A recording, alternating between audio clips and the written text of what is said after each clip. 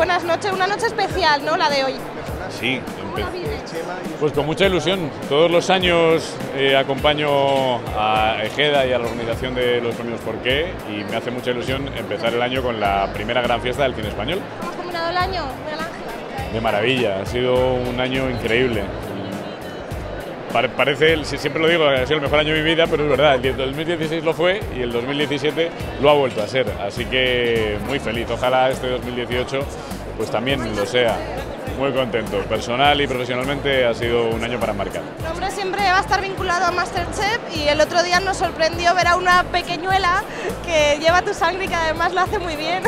¿Cómo te ha gustado verla? Muchísimo, muchísimo. Ya sabéis que Masterchef está grabado, yo ya sabía todo lo que sucedía y lo había vivido con, con, ella y con mi familia en la intimidad durante toda la grabación. Y el otro día pues eh, sí que también quise darle la, enhorabuena a las redes sociales, que no acostumbro a hacerlo.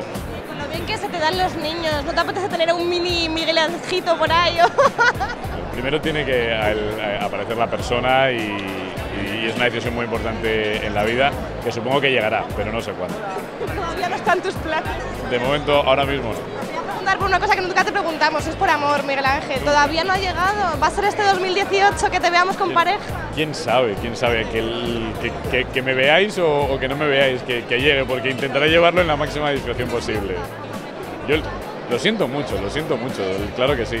Y, también eh, el tiempo que material que uno tiene influye mucho en estas cosas y por suerte pues no paro de trabajar y hay poco tiempo para dedicarle al amor. Muchas gracias Miguel Ángel, disfrútalo, disfruta la gala. Gracias.